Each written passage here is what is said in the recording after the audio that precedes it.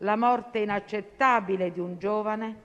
per giunta in un momento che avrebbe dovuto essere di massima sicurezza perché collocato nell'ambito di uno stage curricolare, ha originato manifestazioni di solidarietà e proteste da parte dei suoi coetanei.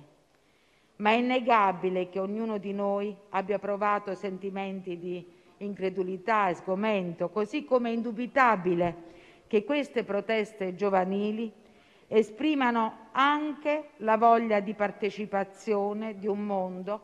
che durante la pandemia ha sofferto in particolar modo l'isolamento. È comunque un segno di vitalità della nostra democrazia che ci fa ben sperare nel futuro.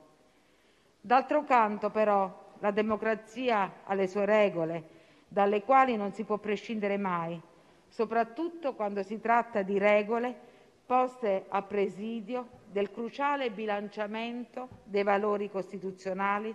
quali il diritto di manifestare liberamente e la tutela della salute pubblica.